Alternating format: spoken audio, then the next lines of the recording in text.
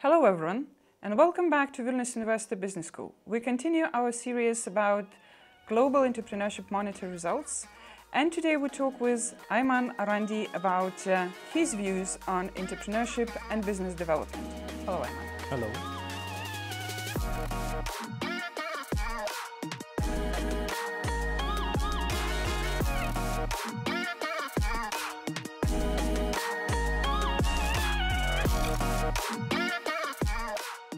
In relation to resilience, okay, uh, we see and Global Entrepreneurship Monitor shows that during the last 25 years, um, the capacities of resilience in general have increased among entrepreneurs. This is true.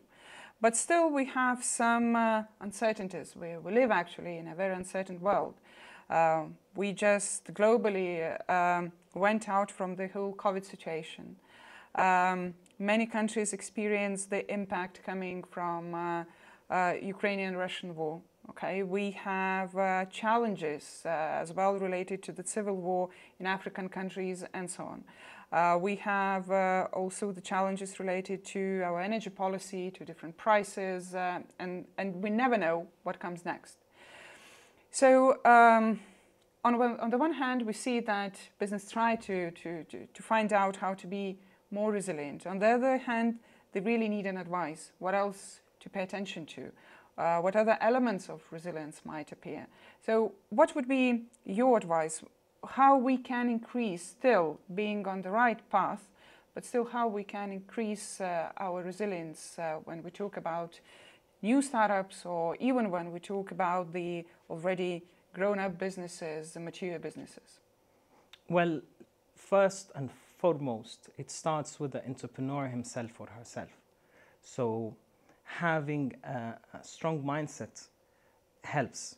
And, and now um, there is a, a large body, a body of research um, telling or uh, shedding the light how we inc can increase our grit, how we can increase our stamina while building, building the business. That's, that's within the self. The other component is the team. Building a business requires a group, takes a small village. So surrounding yourself as an entrepreneur with, uh, with the right team, with a variety of uh, diversity of personalities um, and different, uh, sometimes different values can really help to keep this uh, uh, grit and persistence to continue forward. Outside the, the company or the startup itself, then comes the ecosystem.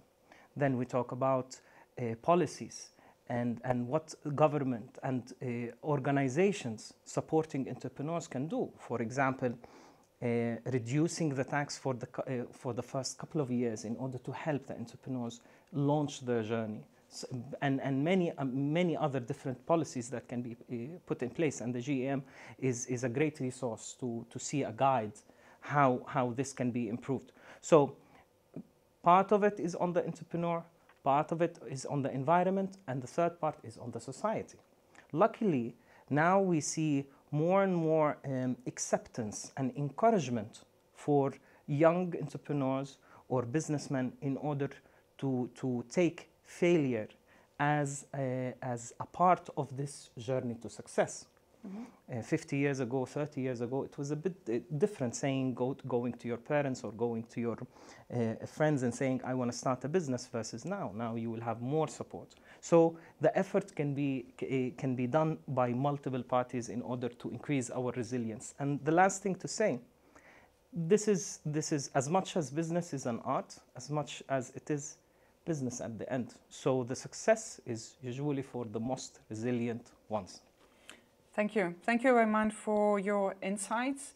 And dear all, stay tuned with uh, Vilnius University Business School Science Insights and meet here more guests with whom we will discuss Global Entrepreneurship Monitor results. Thank you all.